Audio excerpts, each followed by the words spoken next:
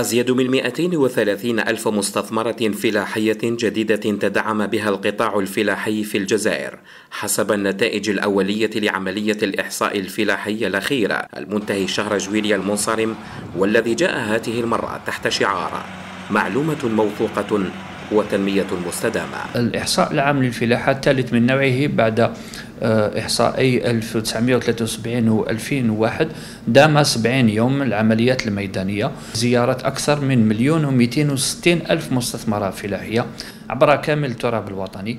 وهو ما يشكل زيادة تقدر بأكثر من 230 ألف مستثمرة فلاحية عن الرقم الذي تحصلنا عليه خلال إحصاء 2001 ما ميز عملية الإحصاء الوطني الفلاحي؟ توسع رقعة المحيطات الزراعية وكذا تسخير كافة الإمكانيات اللوجستية والتنظيمية إلى جانب إدراج التكنولوجيا الرقمية التي سهلت العملية وسط وعي كبير من قبل الفلاحين في مختلف الشعب الذين انخرطوا في هذه العملية.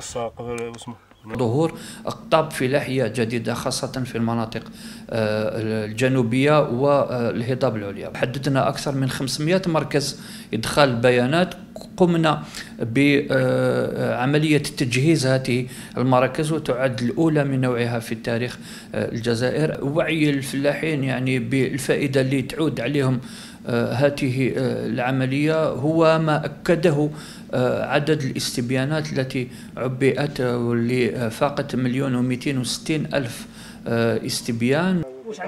عملية الإحصاء الفلاحي الأخيرة التي تعتبر خطوة هامة في قطاع يعد ركيزة من ركائز الاقتصاد الوطنية نظرا للشساعة وتوسع المساحات البسقية وكذا التنوع المناخي من الشمال إلى الجنوب في انتظار النتائج النهائية لعملية الإحصاء المزمع الكشف عنها نهاية السنة.